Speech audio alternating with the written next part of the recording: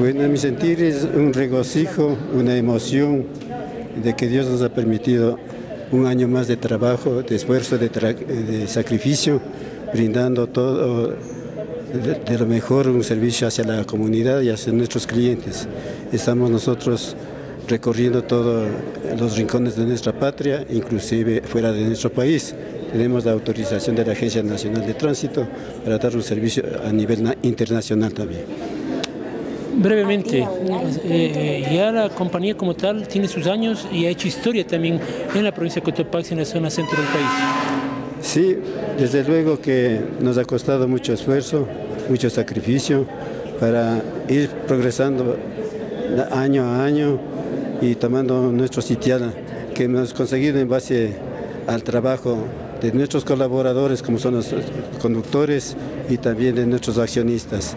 Eh, esperamos seguir sirviendo de la mejor manera a los clientes y a la sociedad y a los turistas que vienen a veces a nivel internacional, que conozcan nuestro país, todos los rincones de la patria.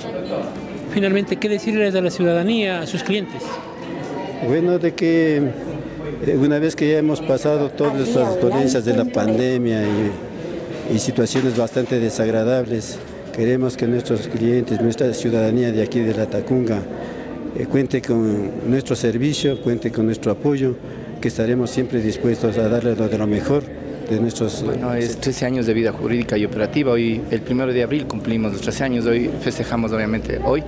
Eh, agradecerle a nuestros socios, a nuestros conductores, a las autoridades, que han coordinado este granito de arena que hemos hecho por la provincia de Cotopaxi. Me siento muy congratulado del tema de que eh, Javier Díaz nació esta empresa basada en los sueños de mi padre y hoy más que nunca me siento muy grato de poder dar esta sesión solemne de los 13 años de vida jurídica eh, de presentar unos nuevos vehículos y unos nuevos, eh, cambiamos de diseño corporativo, ¿no? Y eso creo que para nosotros nos orgullece como Cotopaxi el haber sembrado fuentes de trabajo como son inversionistas, eh, conductores y, el personal administrativo. Hoy les ayudo, les digo y les invito que festejemos todos juntos en, este, en los 13 años de vida jurídica y operativa. ¿Cuáles son las proyecciones de Cotuliari? En nuestras proyecciones tenemos cambiar toda la flota vehicular, y llegar a una flota de 25 eh, vehículos y mi proyección es dar un servicio internacional como lo hemos venido haciendo, pero ya con vehículos de alta gama como son el Marco Polo y el doble piso que nos han pedido. ¿no? En, ese, en eso nos estamos proyectando y también de comprarnos ya nuestra propia sede eh, que es aquí en Atacunga, que es la principal, y la sucursal en Ambato, siempre nos mantendremos. ¿Proyectos ambiciosos? sería un proyecto a futuro, ¿no? que ya lo tenemos un porcentaje de nuestras inversiones y creo que de aquí a unos dos años ya estaremos con una flota de vehículos de escañas y también los doble pisos.